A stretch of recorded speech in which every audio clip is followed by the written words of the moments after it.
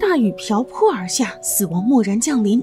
女人麻木的脸上写满了深深的绝望。她猛踩一脚油门，沉入江中。原来那些事真的可以把人逼上死路。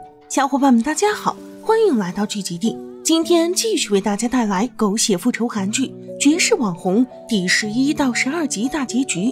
上集说到，雅丽伤心欲绝的发现，她最好的闺蜜竟然是她的黑粉。要知道，雅丽平常看见那些黑帖，还能安慰自己说，反正和那些人也不认识，他们发疯乱咬，有什么值得在意的？但连闺蜜都是黑子，让人如何承受？被抓包的闺蜜满脸尴尬。实际上，她和雅丽只是为了解压。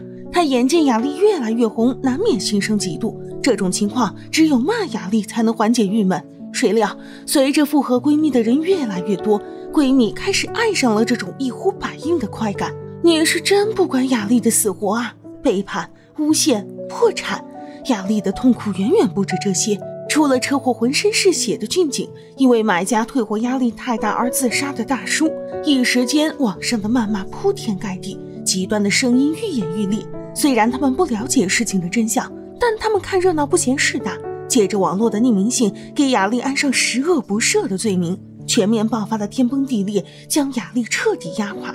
他肝肠寸断地在俊景身边回忆着和俊景的点点滴滴。事实上，他早就对这个霸道又忠犬的高富帅动了心，只不过是因为可笑的自尊心不敢承认罢了。所以，人千万不要等到失去才懂得珍惜。绝望中的雅丽起了轻生的念头，她一心只想跳楼解千愁。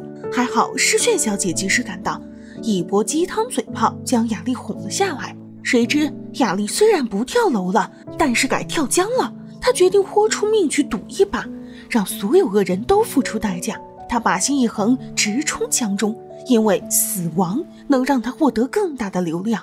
三个月后，被宣告死亡的雅丽突然发起直播，揭露着令人瞠目结舌的一切。各路牛马蛇神人人自危，泰展抓紧一切时间销毁证据，可他还是慢了一步。警察已经对他的律所下了扣押搜查令。整形诊所的金医生眼见事情败露，正打算逃之夭夭，就被警察逮了个正着。另外一边，俊警动用各种资源，终于找到了雅丽所在的位置。他好不容易砸光了层层门锁，可等他一进来就傻眼了。直播的人根本不是雅丽，而是雅丽的闺蜜。原来这是雅丽的弟弟和闺蜜联手为雅丽复仇的计划。他们利用 AI 换脸技术，以绝世网红死而复生这个噱头博得大众关注，一举爆出种种内幕。至于雅丽，他们只在江中找到了车，却没找到雅丽的尸体，也不知道雅丽现在是生是死。雅丽直播事件牵一发而动全身，嗑药小作精彩戏被抓，网红吉娜为自己卖假货的行为公开道歉，卖身赚钱的安琪拉惨遭老公抛弃，自身难保的金医生。供出了泰展将危在旦夕的酒保送到他诊所的事实。酒吧老板被指控谋杀俊景未遂。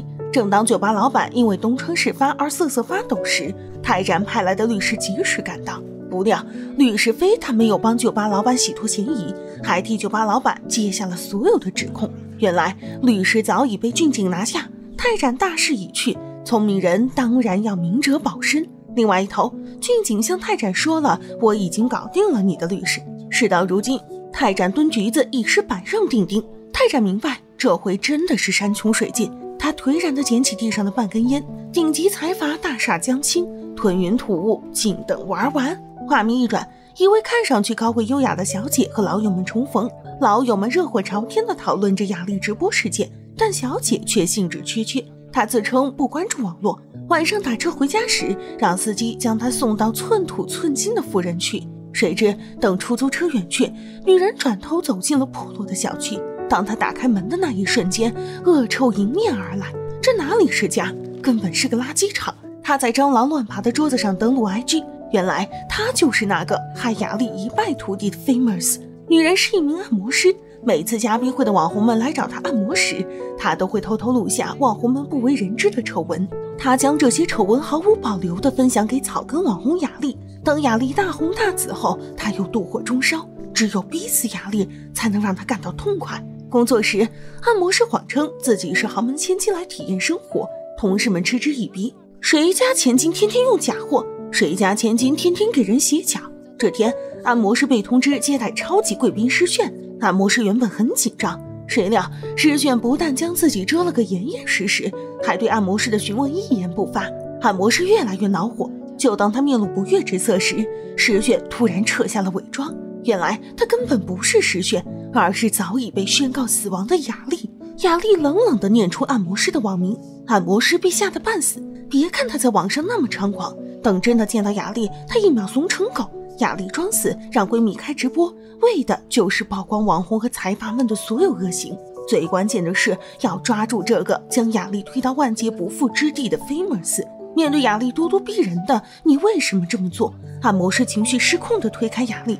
他本想逃跑，但当他看到高仿包包里散落的蟑螂时，他忽然认命般放弃了抵抗。可能是屋里太闷，他想透透气，所以砸开了玻璃。他冲雅丽和诗炫咆哮着。你们一顿饭就吃掉我一个月的薪水，天天炫耀自己有钱，知道我们这些普通人多焦虑吗？全世界都去死吧！说罢，按摩师朝后一仰，坠入夜色。骂完人就跳楼，解构刚。还好抢救及时，按摩师没有生命危险。俊景也赶来，和雅丽来了个劫后余生的抱抱。风波过去，雅丽忍不住来参观了按摩师的家，就是这样一方脏乱差的角落。按摩师用一台电脑掀起了腥风血雨，可能只有网络才能让他感受得到生存的意义吧。试卷给雅丽看了一个支持他回归的账号，雅丽见有那么多人期待他回归，她有一瞬间的动摇，但转念一想，他就放弃了当网红的想法，因为谁知道今天还为他加油打气的人，明天会不会变成他的黑粉呢？画面一转。清洁公司来清理按摩师的住处，一名帅气的清洁工拿起桌上的平板，翻看雅丽发过的那些动态，随后他的嘴角勾起一抹耐人寻味的笑意。至此，韩剧绝世网红的全部故事就结束了。触目惊心的网红撕逼大戏到这里也戛然而止。纵观这场令人大跌眼镜的网红大战，原来网上那些凡尔赛的网红们也不过是虚假繁荣。一掷千金只是满足虚荣心的假象，高人一等只是苦心经营的空壳。暗地中，他们互相算计，捧高踩低，陪睡、卖身、嗑药、卖假货，利用权势草菅人命。正是由于他们的夸张炫富，引起了在底层摸爬滚打的普通人的不满，戾气弥漫，腥风血雨。虚拟的网络成为天然的屏障，放大扭曲病态的内心。可他们似乎忘了，生活原本并没有那么复杂。放平心态，保持低调，远离焦虑，生活美好。好了，今天的解说就到这里，希望大家多多点赞支持，记得订阅聚集地频道。我们下期再见。